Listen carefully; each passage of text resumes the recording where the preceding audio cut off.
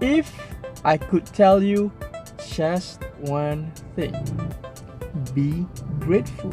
If you don't be grateful with what you have, what makes you think you will become a grateful person once you have the things that you don't have? So I'm gonna share with you three tips how to be a grateful person.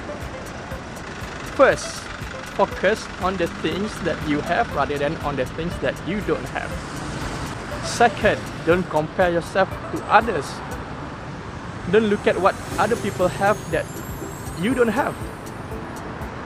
And third, always say thank you. Thank you. It's very simple, right?